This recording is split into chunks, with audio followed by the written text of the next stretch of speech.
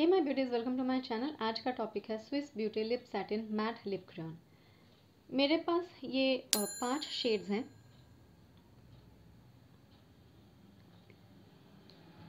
ये बहुत ही इजीली अवेलेबल है। वेबसाइट पर आपको मिल जाएँगे पर्पल नाइका अमेजोन फ्लिपकार्ट इन सब जगह आपको मिल जाएगा। एट द सेम टाइम ये ड्रग स्टोर में भी बहुत ही इजीली अवेलेबल है। मैंने इसको फ्लिपकार्ट से परचेज़ किया था बिकॉज़ वहाँ पर सिंगल पीस अवेलेबल है but at the same time वहाँ पर सेट में भी अवेलेबल है। तीन का सेट है, चार का सेट है छः का सेट है तो आप चाहें तो सेट में ले सकते हैं, आप चाहें तो सिंगल पीस ले सकते हैं। मैंने सेट में लिया था, चार का सेट लिया था और एक लिप्रियन मैंने अलग से लिया था बिकॉज़ वो शेड मेरे पास नहीं था। मैं जो सेट मैंने लिया था उसका रेट और जो सिंगल पीस मैंने लिया था उसका रेट मैं दोनों ही चीज़ें नीचे डिस्क्रिप्शन बॉक्स में मेंशन कर दूँगी, आप वहाँ पर चेक ज़रूर कर लीजिएगा। ये एक बहुत ही कंफर्टेबल लिप क्रेयॉन लगा मुझे, क्योंकि इसकी पैकेजिंग आप देख सकते हैं, बहुत ही सिंपल है। बिल्कुल आप पेन की तरह इसको होल्ड कर सकते हैं और अप्लाई कर सकते हैं। तो एप्लीकेशन इसका बहुत अच्छा है कंफर्टेबल है। इसकी जो कैप है, वो सील हो जाती है। तो ये लॉक हो गया इसका कैप तो आप इजीली इसको पॉकेट में या पर्स में कैरी कर सकते हैं। इसकी जो बॉडी है, वो कलर कोडेड बॉडी है। आप आराम से बॉडी देखकर आपको पता चल जाएगा कौन सा शेड है। बट यहाँ नीचे भी स्टिकर है जहाँ पर कलर का नेम और शेड नेम दोनों ही मेंशन किया हुआ है। इसकी जो क्वांटिटी है वो 4.54 ग्राम है और इसकी शेल्फ लाइफ तीन से चार साल तक है। ये एक रिट्रैक्टेबल प्रोडक्ट है। आपको जितनी लिपस्टिक चाहिए, आप इस तरह से रोल करके निकाल लीजिए बाहर। और फिर इसको रोल डाउन करके आप अंदर कर दीजिए। तो ये चीज़ मुझे इसकी बहुत अच्छी लगी। इस तरह से लिपस्टिक जो है वो वेस्ट नहीं होगी। इसका कलर पे ऑफ़ पिगमेंटेशन बहुत अच्छा है। आपको सिंगल स्वाइप में ही कलर आ जाएगा। बार बार आपको बिल्ड करने की ज़रूरत नहीं पड़ेगी। और ये एप्लीकेशन भी जो है इसका वो बहुत कंफर्टेबल है। ये क्रीमी मैट फॉर्मूला है। तो ये मैट फिनिशिंग देता है बट एप्लीकेशन इसका बहुत ही ईजी है। आप ईजीली आप इसको लगा सकते हैं। आपको बार बार यू नो रब करने की ज़रूरत नहीं पड़ेगी। इसकी स्टेइंग पार्ट जो है वो पाँच से छः घंटे तक आराम से रहती है।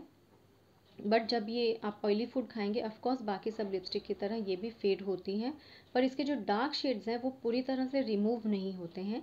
आप के लिप्स पर ये एक हल्का सा टिंट छोड़ देता है और वो टिंट जो है वो काफ़ी लॉन्ग लास्टिंग है। ये मैंने पर्सनली नोटिस किया है। इसके जो डार्क शेड्स के साथ मैंने ये चीज़ नोटिस की है लाइट शेड जो है वो फेड हो होकर निकल जाएगा बट जो डार्क शेड्स हैं वो फेड होकर टिंट छोड़ देता है।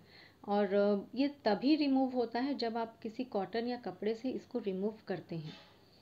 ये ट्रांसफ़र प्रूफ या स्मज प्रूफ नहीं है, ये स्मज होता है ट्रांसफ़र होता है बट ये बहुत ज़्यादा ट्रांसफ़र नहीं होता है। एक दो बार ये ट्रांसफ़र होता है और फिर उसके बाद ये आपके लिप्स पर बड़ी अच्छी तरह से आसानी से ये सेट हो जाता है। अगर आपके लिप्स ड्राई हैं तो आप इसको एक बार ट्राई ज़रूर करिए बिकॉज़ ये बहुत लाइट वेट है और ये ड्राई लिप्स को बहुत ही जल्दी स्मूथ और सॉफ्ट बना देता है फाइन लाइंस को फील करता है और जो स्किन थोड़ी सी उठ जाती है ड्राइनेस की वजह से उसको भी सेट कर देता है। ये मैं आपको अपने पर्सनल एक्सपीरियंस से बोल रही हूँ बिकॉज़ इस विंटर में सच में मैंने ये चीज़ नोटिस की है। कि मेरे लिप्स जैसे कि बाकी सबके होते हैं ड्राई हो गए थे तो मैंने इसको ही ट्राई किया था कि let's try this because description में लिखा हुआ था कि ड्राई लिप्स को स्मूथ कर देता है। तो मैंने इसको ट्राई किया था और थोड़ी ही देर के बाद सच में मेरे जो लिप्स हैं वो सॉफ्ट और स्मूथ हो गए थे। मैंने जब इस तरह से रब करके चेक किया था तो मेरे लिप्स सच में बहुत सॉफ्ट हो गए थे। और जो फाइन लाइंस आ जाते हैं ड्राइनेस की वजह से वो भी फिल हो गए थे। और जो स्किन उठ जाती है, वो भी वापस सेट हो गई थी। तो मुझे ये चीज़ बहुत अच्छी लगी। I was really impressed by the product कि इसने जो क्लेम किया है, वो एक्चुअली वर्केबल है। तो मुझे ये लिप क्रेयॉन्स बहुत अच्छे लगे। ये तो हो गई सारी बातें लिप क्रेयॉन के बारे में। अब चलिए मैं आपको स्वॉचेस दिखाती हूँ।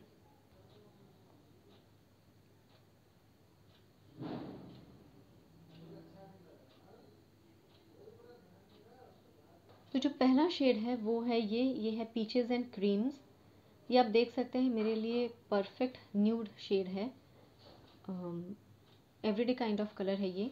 अगर मैं इसको थोड़ा सा कस्टमाइज़ करूँ एक डार्क लिप लाइनर के साथ तो ये थोड़ा सा और अच्छी तरह से इसका कलर आ जाएगा. बट अगर मैं बिल्कुल न्यूड रखना चाहती हूँ अपने लिप्स को तो मेरे लिए ये शेड परफेक्ट है.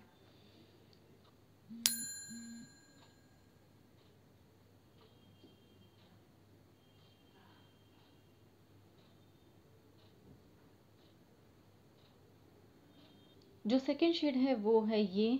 इट इज़ हेज़ल नट आप देख सकते हैं. बिल्कुल नहीं दिख रहा है मेरे लिप्स के ऊपर. तो अगर मैं लिप बाम की तरह इसको यूज़ करना चाहूँ ऑफकोर्स मैं यूज़ कर सकती हूँ. अदर देन दैट अगर मैं कलर एक्सपेक्ट करूँ तो ये मेरे लिप्स पर कोई भी कलर नहीं दे रहा है. तो जो पहला शेड था पीचेज एंड क्रीम्स और ये सेकंड शेड हेज़ल नट इन दोनों शेड के बारे में मैंने जो चीज़ नोटिस की, वो ये कि जब मैं कोई ऑयली फ़ूड खाती हूँ तो ये धीरे धीरे फेड होते होते पूरी तरह से रिमूव हो जाते हैं। ये शेड्स मेरे लिप्स पर कोई भी टेंट नहीं छोड़ते हैं।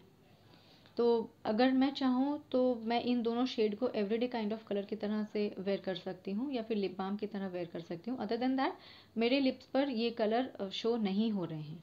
तो अगर आप मुझसे ज़्यादा फेयर हैं तो आपके लिए ये परफेक्ट न्यूड है। बट अगर आप आ, मेरे स्किन शेड के हैं या मुझसे डार्क पड़ते हैं तो आपको शायद ये वॉश आउट कर सकते हैं।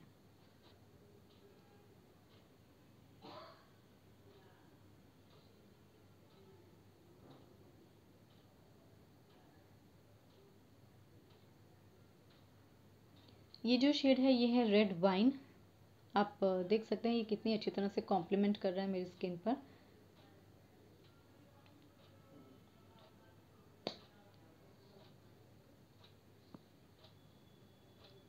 ये ट्रांसफ़र होता है, जैसे कि मैंने आपको पहले बोला था।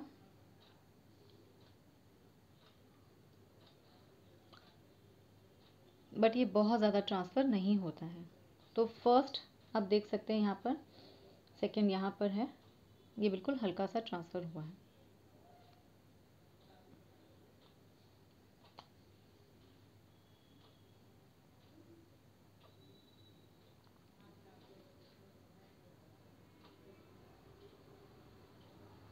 ये स्मज भी होता है।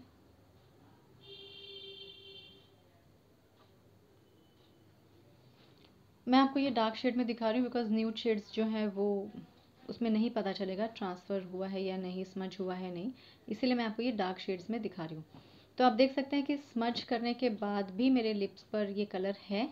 This is I was talking about कि जब ये फेड भी होता है तब भी ये एक बहुत अच्छा टेंट लिप्स पर छोड़ देता है।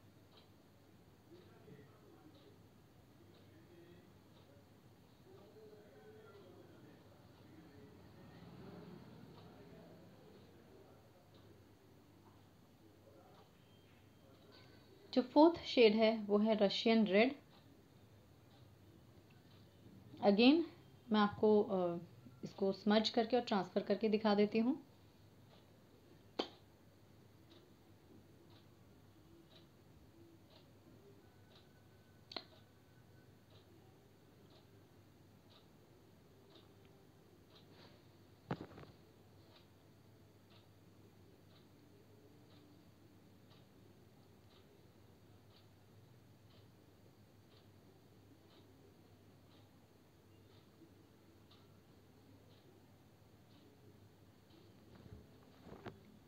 ये भी ट्रांसफ़र होता है स्मज होता है बट ये टिंट छोड़ देता है।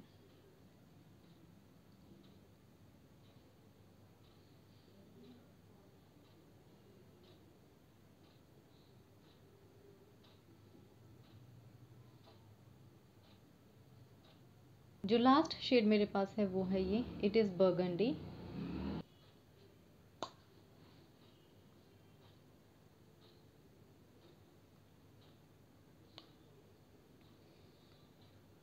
ये शेड बहुत ही हल्का सा ट्रांसफ़र होता है बट ये भी समझ होता है।